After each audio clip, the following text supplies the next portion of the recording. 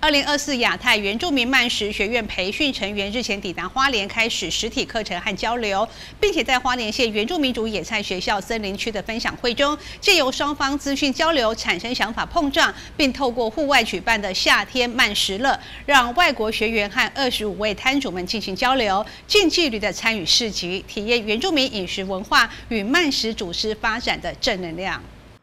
二零二四亚太原住民慢食实验培训成员日前抵达花莲，开始进行实体课程以及交流，并且在花莲县原住民野菜学校进行分享会当中，开始安排了国际慢食原住民委员许公烈以及轻慢食的组织发言人。许公烈表示，慢食是一个全球的行动，以优质、干净、公平理念保护以及推广饮食系统，分享原住民慢食网络发展，不仅在亚太地区，更是一个全球的网络。透过保种生产者保护计划、原住民厨师联盟，大家以社区家人方式共同滚动，带动大家一起来慢食。代表徐忠伟县长，谢谢大家来参加这次的分享会。然后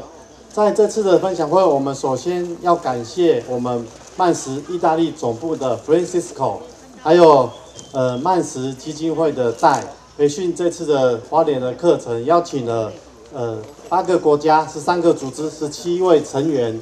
来参加这次的五天四夜的培训会。然后等下的两场的分享会，会有这五天四夜的各国成员的交流，以及跟我们国内的交流。也希望大家能够居留下来，待下一整天，来听听大家的呃经验分享，也可以作为我们未来慢食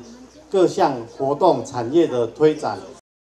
花莲县政府原住民事务处长杜桂传表示，县府与慢食组织紧密合作，持续让原住民慢食在整个花莲的产业发展当中扮演非常重要的角色，既是是文化的传承渠道，也是产业创新的重点，又代表花莲在地文化的焦点，以及全世界链接的蹲点。透过分享会，也让花莲与国际接轨，希望他们带着这份美好的记忆，持续发展国际慢食的活动。接着，John 华报道。